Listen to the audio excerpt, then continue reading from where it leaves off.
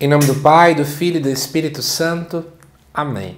Amados irmãos e irmãs, é com muita alegria que nós estamos aqui para juntos estudar e meditar a segunda leitura, que a igreja nos apresenta para a solenidade do Sagrado Coração de Jesus.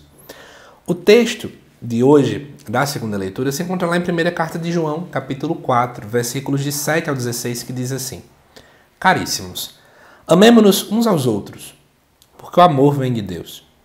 E todo aquele que ama, nasceu de Deus e conhece Deus. Quem não ama não chegou a conhecer a Deus porque Deus amou. Foi assim que o amor de Deus se manifestou entre nós. Deus enviou o seu Filho único ao mundo para que tenhamos vida por meio dele.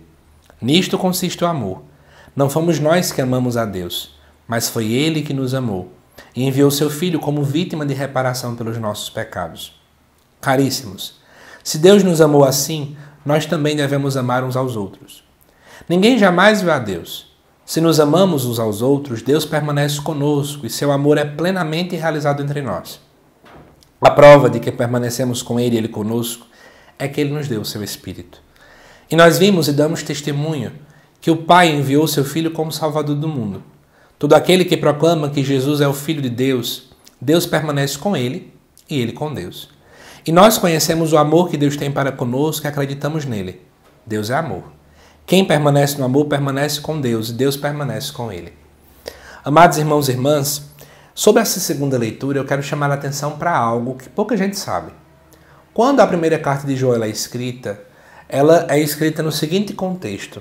Nós estamos ali com a heresia que nós chamamos de gnosticismo, como se ela estivesse meio que dando os primeiros passos.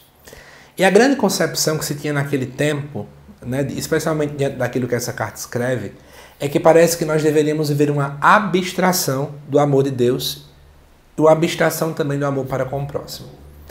Por esse motivo, essa carta ela surge meio que como uma correção dessa errada compreensão que se tem.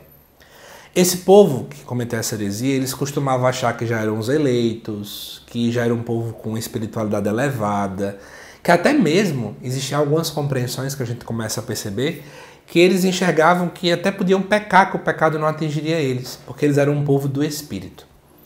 Ora, quando nós olhamos então para a segunda leitura desta solenidade, a gente percebe um outro ponto. Vamos ver juntos. Primeiro, aqui vai nos dizer sobre amar o próximo, no versículo 7. Né? Porque o amor vem de Deus, e aquele que ama nasceu de Deus e conhece Deus. Quem não ama, não conheceu Deus. Então é como o autor dissesse, ó, vocês que se acham espirituais demais, e que já são tão espirituais que nem precisam amar o próximo, vocês não conhecem Deus, viu? Vocês podem dizer o que for, vocês podem achar que Deus se revela para vocês de todo jeito, vocês podem até dizer que vocês são videntes, mas se vocês não amam o próximo, vocês não conhecem a Deus. Em outras palavras, é isso. E aí depois ele vai começar a colocar né, que Deus amou primeiro. Isso aqui é uma grande ligação com a primeira leitura. Na primeira leitura nós percebíamos que Moisés vai colocar para aquele povo a dinâmica do não merecimento, né? Então não achem que vocês são povo eleito porque vocês merecem, mas é porque é por amor de Deus. E aí, depois coloca mais uma vez essa visão né, de que é preciso amar o próximo, se a gente ama um ao outro, Deus permanece conosco. E aí a leitura vai sempre nesse permear, né? Aquele que de fato ama o próximo, Deus está com ele. Aquele que de fato ama o próximo, conhece a Deus de modo completo. Mas depois de entender tudo isso, eu trago para a gente uma reflexão. A gente tem buscado amar o próximo. O que é amar? Amar é doar-se. Amar é muitas e muitas vezes sair da minha zona de conforto para poder auxiliar o outro. Amar é se colocar no lugar do outro. Amar é dar um pouco do nosso tempo, dar o nosso ouvido mesmo quando a gente está cansado. Será que a gente tem amado? Ou será que eu só vejo o outro como objeto? Só procuro ele quando eu quero me satisfazer quando eu estou precisando de alguma coisa. Cuidado! Tem muita gente que, mesmo que se diga que ama o próximo, só vê o outro assim, como um objeto descartável. À luz dessa leitura, coloquemos na nossa cabeça: se a gente não ama, a gente tem tudo, menos intimidade com Deus.